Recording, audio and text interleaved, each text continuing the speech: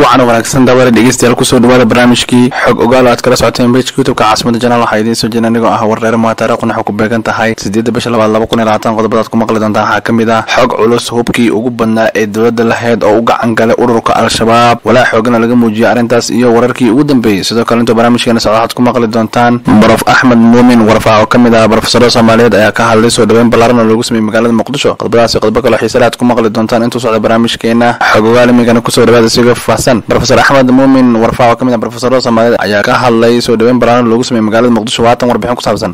Bismi illaahi raxmaani raxiim marka hore waxaa mahad iyo ammaan oo la koonsada alla subxaanahu wa nabi maxamed calayhi salaatu wasalaam nabadgelya naxariis korkiisa ahaato. Waxaana bawaadinay dhiirigelin mudan. Profesor cabdullaahi sheekh cali ninkaas khabiirka weyn agaha weyne muxuu ahay oon isla soo kornay isla soo qariibnay wax isla soo dhignay wax isla soo baranay.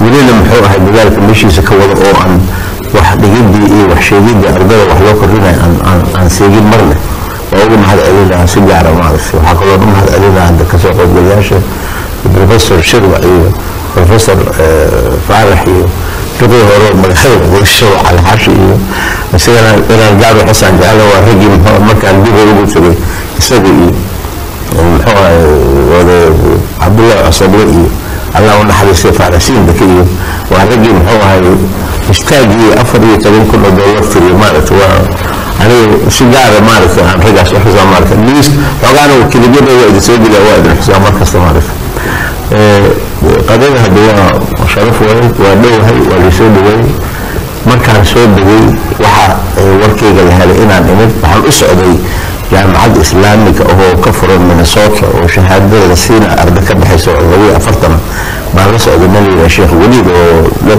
qofka shanaad oo adduunka muxuu culimada waaweyn oo muslimiinta ah. Markii aan labiyo afartankii arday oo todoba b h d qaadatay inta kalena ay mastereed qaadatay baa muxuu ahay doctor bafo oo la socday oo ilaahay goorma imanayso ogaaday inaan joogo. Markaas isaga iyo wax alle wixii jaamacadda guddoomiyaasha jaamacadda gaar ahaan kulliyadaha ka jiro afartan jaamacadood baa shiray waxaa la soo gaabiyey marka inaan balqoladaas laba usbuux haddii aan heli karo aan ku kordhiyo. Waa sidaas waxaan u dhigtay safarkayga aan dib u dhigtay.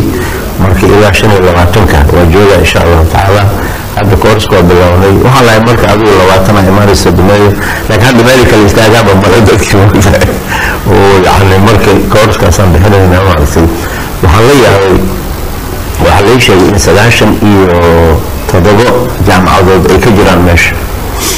Waxaan qiyaasay odacaliyo waa saan u farxay waxaan qiyaasay jaamacadda ugu yar. Maan hal ardaya dhigan hal ardayaan ka soo qaaday. Waxaan ka soo qaaday hal macallinaan ka soo qaaday waxaan ka soo qaaday hal guddoomiye jaamacadaan ka soo qaaday. Waxaan ka soo qaaday hal maamul. Sawir adig sagaashan iyo todoba jaamacadood oo ka furan dalka guud ahaan gaar ahaan xamar ka furan. Intee kunoo ardaya dhigato meesha? Intaas marka u yaryiin waxaa loo dhiga alif. Ilaahu aysan bacna gaarin moogtahay waxaas aqoonta waa kortay waa fayday hadda weliba waxaad maraysaan inaad tayo ka hadashaan ma arkaysaan? Laakiin maraysa jirin laga hadli karin oon dugsi hoose laga hadli karin oon dugsi dhexe dugsi sare laga hadli karin. Marka alxamdulilah wa amaa binicmati rabbika faxadis nicmadaad haysta waa in la sheegaa qodobka kale muxuu ahay aniga xoogaa waxaan ka warwersanahay muxuu ahay cimiladaan ka warwersanahay maaragtay sababtoo ah hadda waxaa leeyahay qansax dheere. Qansaxna male waxaa la leeyahay mareerey mareerna male waxaa leeyahay mareer gur mareerna male waxaa leeyahay garsaale garasna male waxaa leeyahay cadaada cadeedna male waxaa la leeyahay maydaag qabi maydaagna male waxaan ka warwarsanahay marka waxaa waaye. Mar haddii ilaa magaca wax loo bixi waaye goobtaas waxay aagaas wuxuu caam ku yahay geed marka geedka waxaa la rabaa maaha geed keliya taagana in geedo badan ay jiraan oo cilmadu ay degsan tahay si hawadii ay u deganaato taas laakiin alxamdulilahi qoraal dheeraan ka sameynay oon ka soo bilaabay iiraan ilaa zambiya muxuu ahay. Marka labaatanka sanoo soo socoto soobaatanka soo socda soota insha allah sidii wax isu badalaana waxaas waa qorayn hadda waxaan siiyey falaistaraadkii kolley waxaan siiyey muxuu ahay wasiirka hore beeraha doctor bafo baan siiyey. Marka wax walba waa anigoon waxaasoo dhan saldhigina muxuu ahay tagale dhirka soomaaliya waxaa laga qoray hal buug oo afar buulum ka kooban maaragta iyadana waa dhammayno oo qoraaladaas alxamdulilah laabiriyayaashaan dhigayna waa wada laba koobi waa wada laba kalena waan ku soo diraa muxuu ahaa jaamacadaha raba marka aqoonta. Aniga aqoonta waxaa ku jira dadka aaminsan. Horta jaamacad haddii la dhiso waa mamnuuc horta in la dubiyo la baabiyo waa mamnuuc. Sababtoo ah shahaadadii laga bixiyo haddii ay talyaaniga lala tago waxaa in jaamacaddii marka lagugugareyn la helaa jaamacaddii laakiin jaamacaddii haddii la yidhahdo waa la xiday ama waa la kala diray. Shahaadadaas ma jirto. Sidaa daraadeed anu waxaan ku talinaa wax kasta. Ama dowladda ha ahaato ama dadka wax dhiga ha ahaatee ama dadka muxuu ahay wax loo dhiga haatee inaan jaamacad horta la dumin. Inaan la dhisin waa war.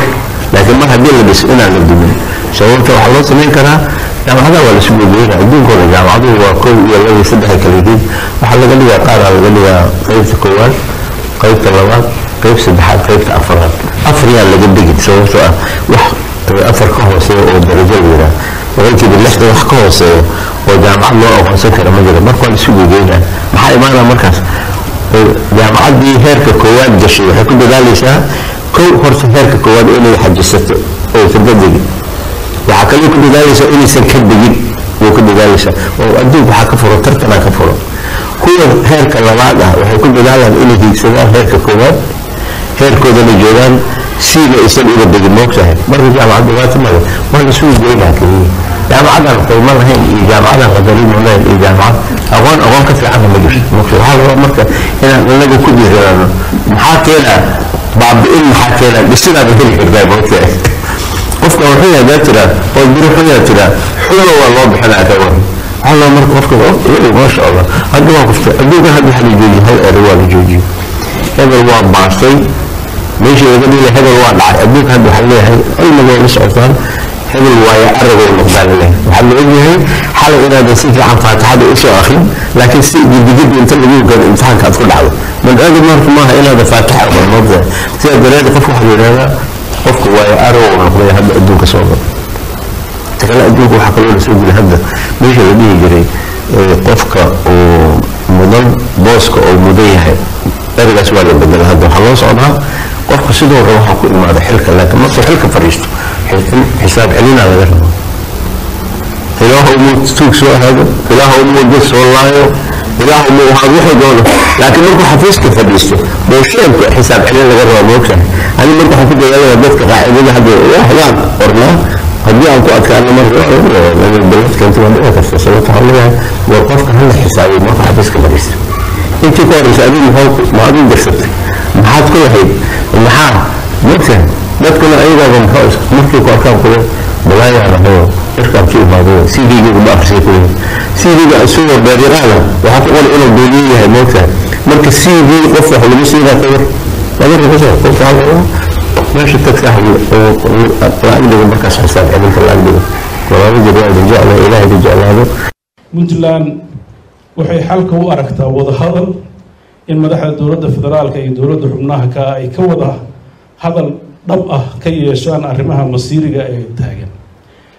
Soomaaliya waxaa ka soo daashay isjiijiid siyaasadeed oo aan miro dhal ahayn. Puntland waxay mar kasta caddaynaysaa in wada tashigu ay noqdaan kuwa wax ka soo baxaan laakiin aysan noqon fursad sawir lagu wada galo. Puntland waxay diyaar u tahay in aan martigelinno shirweyne wada tashi ah oo madaxda labada heer ee kaga wada hadlaan kagana tashadaan arrimaha muhiimka u ah dowlad dhiska soomaaliya gaar ahaan doorashooyinka qorshaysan laba kun iyo labaatan dhammaystirka dastuurka qaybsiga khayraadka iyo deeqaha caalamiga. Waxaan dhammaan ugu baaqaynaa dowladaha xubnaha ka ee dowladda federaalka inay puntland diyaar u tahay in ay martigeliso waxaan kaloo diyaar u nahay meel kastoo kaloo lagu qabanayo inaan ka qayb galno. Haddii wada hadal dhab ah oo saxa u jiro oo laysugu wada imaanayo arrintaas runtii dowladda puntland waxay muujinaysaa inay diyaar u tahay kaalinta ay leedahay inay qaadato. Waxaan ugu baaqaynaa dowladda federaalka ah in ay qorshihii siyaasadeed ee sannadkii ugu dambeeyey dalka ay ku hogaaminaysay wax ka bedasho inuu caqliga taliyo in muddada hartay cimri taga ceeb laguma soo ootiyaa la yidhi aysan ceeb ku dhammaysan marka waxaan rajaynaynaa inay wada hadalka iyo wada tashiga uu noqdo waddada saxda ah ee lagu gaari karo is-afgarad buuxda oo dalkan samata bixiya waa hagaag daawada dhegeysta welina waxaan guda jirnaa qaybihii hore barnaamijkeena. Xogogaal imikana qodobka xiga waxuu noqonayaa sida ay sheegteen ururka al-shabaab galabta oo sabti ah laguna faafiyey warbaahinta internetka. Ayay ku sheegeen inay dagaal ka dhacay duleedka jowhar ay ku qabsadeen meel lix kilomitir u jirta caasimada hirshabelle ee jowhar. Ayay ku sheegeen al-shabaab inay ku dileen laba askari isbaaro ay ku sugnaayeen ma aysan sheegin deegaanka weerarka ay ku qaadeen balse waxay sheegeen in hubkii ay askartaasi wateen ay soo qanimaysteen. Waa sida ay warka u dhigeen. Al-shabaab ayaa waxay sheegeen in muddo ay ku sugnaayeen deegaanadaasi ku dhow jowhar ee ciidamada dowladda isbaarada u taalay ay weerarka ka fuliyeen maanta oo sabti ah. Ma hayno war ka soo baxay dhanka taliska ciidamada xoogga dalka ee ku sugan gobolka shabeellaha dhexe ama dhanka hirshabeelle oo looga hadlayo warka ka soo baxay ururka al-shabaab. Waata dawa legistar guudaan xadsunaga barnaamijkii xogogaal aad kala socoteen bejka youtubeka caasimada janaa fadlan haddii aad bejka ku xusin subscribe noo saara si warbixinadan dambe hawla socotaan mahadsanideen